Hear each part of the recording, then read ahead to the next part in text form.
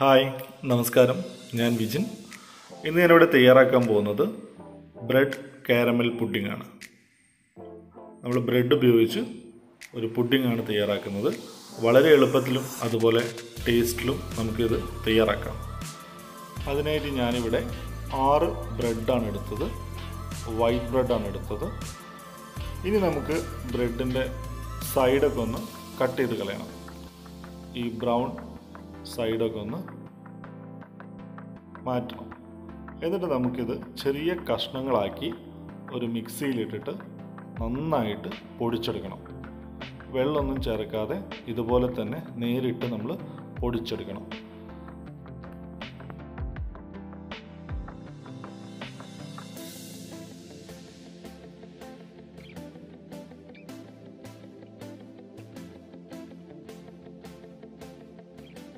ഇത് ഇതുപോലെ പൊടിച്ചെടുക്കുക. ഇനി നമുക്കൊരു ബൗൾ എടുക്കുക. ഇതിലേക്ക് മൂന്ന് ടീസ്പൂൺ കസ്റ്റർഡ് പൗഡർ ചേർക്കുക. ഇനി നമുക്കിതിലേക്ക് അല്പം വെള്ളം കൂടി ചേർത്തിട്ട് നന്നായിട്ട് മിക്സ് ചെയ്തെടുക്കണം.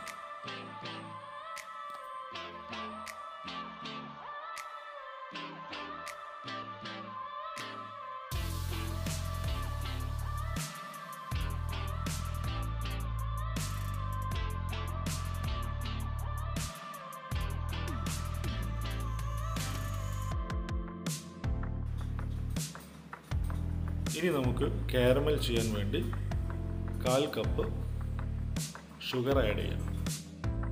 ഞാനിവിടെ വെള്ളമൊന്നും ചേർത്തിട്ടില്ല. ഇങ്ങനെ തന്നെയാണ് ഞാൻ കാരമൽ ചെയ്യാറ്.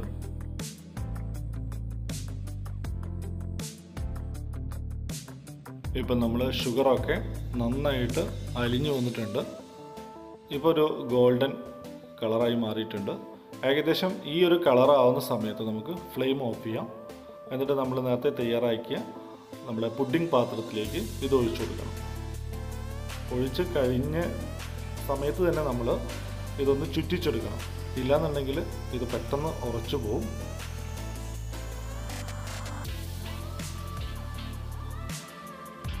ഇനി നമുക്ക് പുഡിംഗ് തയ്യാറാക്കാം അതിനായി ഒരു പാത്രത്തിൽ രണ്ട് കപ്പ് പാൽ ഒഴിക്കുന്നുണ്ട് സാധാരണ പാലാണ് പാക്കറ്റ് പാലാണ് രണ്ട് കപ്പ് ഒഴിക്കുക. നമുക്കിതൊന്ന് ചൂടായി വരണം. അധികം തിളയ്ക്കരുത്. ജസ്റ്റ് ഒന്ന് ചൂടായാൽ മാത്രം മതി. ഇനി നമുക്ക് ഇതിലേക്ക് അര കപ്പ് പഞ്ചസാര ചേർക്കാം. പഞ്ചസാര നിങ്ങളുടെ അളവിനനുസരിച്ച് ചേർക്കാം. മധുരം ഒരുപാട് ഇഷ്ടമില്ലാത്തവർക്ക് ഒരു കാൽ കപ്പൊക്കെ ധാരാളം മതി. നല്ല മധുരം വേണം എന്ന് തോന്നുകയാണെങ്കിൽ ഒരു അര കപ്പ് നമുക്ക് ഷുഗർ ചേർക്കാം. ഇനി നന്നായിട്ട് ആ ഷുഗർ ഒന്ന് പാലിൽ അലിയുന്ന രീതിയിൽ നന്നായിട്ട് നന്നായിട്ടൊന്ന് ഇളക്കിയെടുക്കുക. ഇപ്പോൾ പാൽ ഏകദേശം ഒന്ന് തിളച്ച് വന്നിട്ടുണ്ട്. ആ സമയം നമുക്ക് നേരത്തെ നമ്മൾ തയ്യാറാക്കി വെച്ച കസ്റ്റഡ് നമുക്കിതിലേക്ക് ഒഴിച്ചു കൊടുക്കാം. എന്നിട്ട് നമുക്ക് നല്ല രീതിയിലൊന്ന് നന്നായിട്ട് ഇളക്കി കൊടുക്കാം ഇനി ഈ കസ്റ്റഡ് പൗഡറും പാലും ഒന്ന് കുറുകി വരണം. ആ സമയം നമുക്ക് നമ്മളുടെ ബ്രെഡ് പൊടിച്ചത് ഇതിലേക്ക് അല്പം അല്പമായിട്ട് ചേർത്ത് കൊടുക്കാം. ഒന്നിച്ച് ചേർക്കരുത്.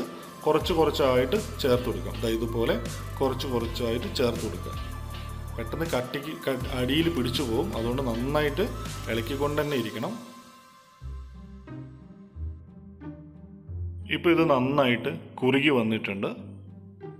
ഇനി നമുക്കിതിലേക്ക് അര ടീസ്പൂൺ വാനില എസൻസ് ഒഴിച്ചു കൊടുക്കാം. വാനില പകരം നിങ്ങൾക്ക് ഏലക്കായ പൊടിച്ചതും ചേർക്കാം. ഓപ്ഷണലാണ് താല്പര്യമുള്ളവർക്ക് മാത്രം ചേർത്താൽ മതി. ഇനി നമ്മൾ ഇത് ചൂടാറുന്നതിന് മുമ്പ് നമ്മൾ നേരത്തെ തയ്യാറാക്കി വെച്ച പുഡിംഗ് പ്ലേറ്റിലേക്ക് ഒഴിച്ചു കൊടുക്കുക. അതിനുശേഷം നമുക്കിതൊന്ന് സ്റ്റീം ചെയ്തെടുക്കണം. അതിനായിട്ട് ഞാനിവിടെ ഒരു സിൽവർ പേപ്പർ കൊണ്ട് ഇതിന്റെ മോൾ ഭാഗം നന്നായിട്ട് കവർ ചെയ്യണം. അതിനുശേഷം നമുക്കൊരു കടായി എടുത്ത് അതിലല്പം വെള്ളം വെച്ച് നമുക്കിതൊരു തട്ടിന്റെ മുകളിൽ വെച്ചിട്ട് വേണം നമുക്കിത് സ്റ്റീം ചെയ്തെടുക്കാൻ. ഏകദേശം ഇത് ഇതുപോലെ. നന്നായിട്ട് വെള്ളം ഒഴിച്ചു കൊടുക്കുക ഒരു നാൽപ്പത് മിനിറ്റോളം നമുക്ക് ഇത് ലോ ഫ്ലെയിമിൽ വെച്ചിട്ട് നമുക്കിത് വേവിച്ചെടുക്കണം.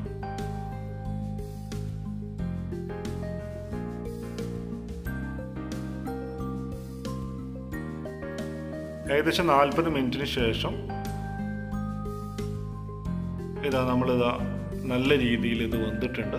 സൈഡൊക്കെ നന്നായിട്ട് വിട്ട് വന്നിട്ടുണ്ട്. ഇനി നമുക്കിതൊരു നാല് മണിക്കൂറെങ്കിലും ഫ്രിഡ്ജിൽ വെക്കണം. നമ്മൾ നാല് മണിക്കൂറിന് ശേഷം ഫ്രിഡ്ജിൽ നിന്ന് എടുത്തതാണ്. ഇനി നമുക്കിതൊരു സെർവിങ് പ്ലേറ്റിലേക്ക് മാറ്റാം.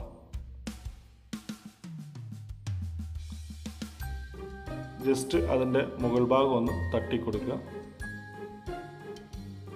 നമ്മുടെ കാരമലൊക്കെ പുറത്തേക്ക് ഇത് ഒലി ഒലിച്ചു വന്നിട്ടുണ്ട്. നല്ല രീതിയിൽ തന്നെ നമുക്കിത് കിട്ടിയിട്ടുണ്ട്. വളരെ നല്ല ടേസ്റ്റാണ്. കുട്ടികൾക്കൊക്കെ ഭയങ്കരമായിട്ട് ഇഷ്ടപ്പെടുന്ന ഒരു പുഡിങ്ങാണ്. ബ്രെഡ് പുഡിങ് അപ്പോൾ നല്ല ജ്യൂസിയാണ്. കഴിക്കാനൊക്കെ വളരെ ടേസ്റ്റാണ്. അപ്പോൾ എല്ലാവരും ഇതൊന്ന് ട്രൈ ചെയ്ത് നോക്കുക. എല്ലാവർക്കും ഇഷ്ടപ്പെടും. ഇഷ്ടപ്പെട്ട നിങ്ങൾ ലൈക്ക് ചെയ്യുക. ഒന്ന് ഷെയർ ചെയ്യുക. സബ്സ്ക്രൈബ് ചെയ്യാത്തവരാണെങ്കിൽ ഒന്ന് സബ്സ്ക്രൈബ് ചെയ്യുക. നിങ്ങളുടെ വിലയേറിയ കമന്റുകളൊന്ന് താഴെ രേഖപ്പെടുത്തുക. നാളെ പുതിയൊരു വീഡിയോയുമായി വീണ്ടും കാണാം. Good bye